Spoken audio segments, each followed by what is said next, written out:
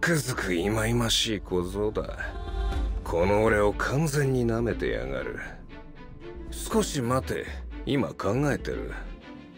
どうすればあの小僧を後悔させられるかをな。あちらを追ったところで直前に小僧に変わられるのがオチか。となると奴らが一番困るのは俺とこいつでガキどもを叩く。これだろうな。振り出しに戻してやる。おいガキどもを殺しに行くぞ。ついてこい。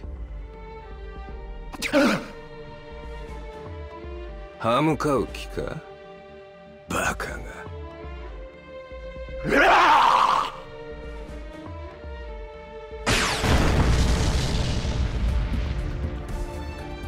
いかん勢い余って傷まで治してしまった。散歩は嫌か。まあ元来呪霊は生まれた場にとどまるものだしな。よいよい。それならここで死ね。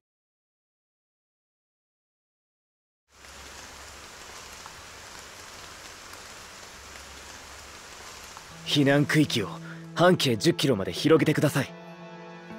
伏黒君は？残りますもしもの時俺にはあいつを始末する責任があります。釘崎さんを病院へ送り届けたら私もなるべく早く戻ります。我々は共に特急という等級に分類されるそうだ。俺とお前がだぞ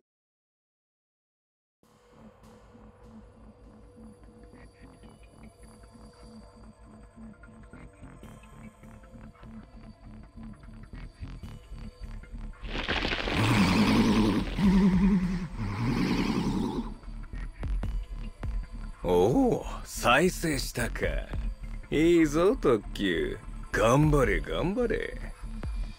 だが呪力による地位は人間と違い呪霊にとってそう難しいことではないぞ。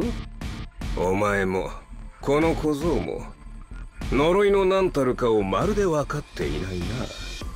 いい機会だ。教えてやる。本物の呪術というものを。領域展開。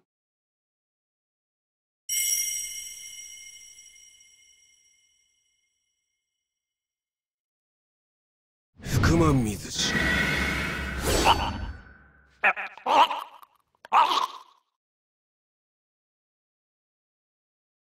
三枚に下ろしたつもりだったんだがやはり弱いなお前。そうそうそれから。お前に埋め込まれた俺の指はもらっていくぞ。